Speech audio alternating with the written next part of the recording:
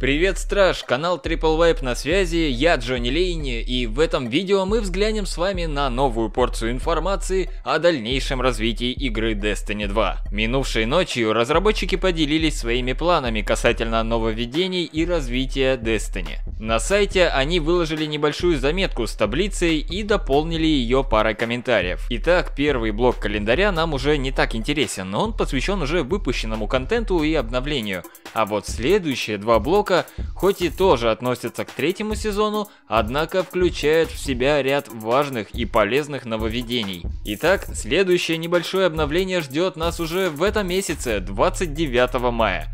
В этот день стартует обновленный ивент «Гонка фракций». Какие именно изменения в этом мероприятии нас будут ждать, сказать пока сложно, однако известно, например, что именно в гонке фракций будут выбиваться абсолют-модификаторы для лучших экзотов, солнечного выстрела, гравитонового копья и милого дела. По ходу победу сразу можно отдавать ребятам в черном. Также 29 мая нас ждет некий режим под названием «Лаборатория Горнила».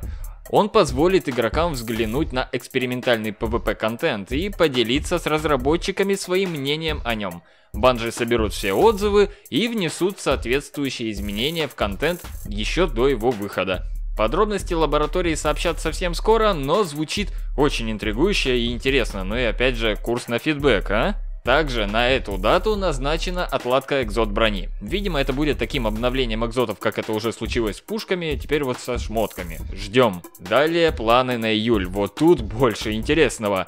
Некий новый сезонный ивент «Солнцестояние героев». Что это будет, неизвестно. Даже предположить сложно. До этого я думал, что нас ждет возвращение гоночной лиги на Спэроу, но теперь название наводит на другие мысли.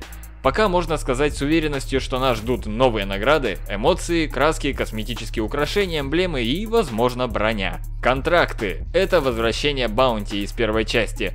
Та мелочь, которой тоже не хватало во второй. Вот тебе контракт на 100 убийств вандалов, вот тебе баунти на 3 тройных убийства в горнило и так далее. Такие мини-поручения, короче. Наконец-то престиж, сложность для логова как первого, так и свеженького второго подвезут – текстовый чат клана на ПК. Я видел, сколько комментов на эту тему у меня под роликами, так что вот, дождались, держите.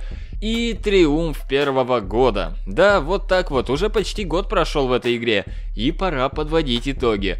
Триумф-система была также в первой части, там игрокам выдавался журнал, в котором отмечались достижения за год игры, а в награду давали шмотки, эмблемы и прочие знаки отличия ветеранов. А вот если заглянуть еще дальше, в сентябрь, то он горит.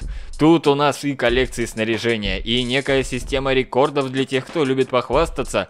Изменения в ячейках оружия. Ну, вы понимаете, что это значит, да? Наконец-то какое-то решение относительно оружия в слотах будет принято, поскольку то, каким ячейки предстали в Destiny 2 с релизом, не устраивало большинство игроков. Странный пункт – случайное оружие, что бы это ни значило. Возможно, под этим скрываются как раз таки рандомные перки новые режимы игры и еще многое-многое другое, что стараются держать пока в тайне. Что ж, с нетерпением ждем всего этого в игре, надеюсь, что уже скоро нам расскажут подробнее обо всех этих интересностях. Спасибо за просмотр, посмотри предыдущее видео на канале с релиза военного разума, я сделал очень много роликов и надеюсь, что не зря. Так что ты найдешь для себя что-нибудь интересное. Подписка и лайк, если нравится канал, ты сам все знаешь. До связи!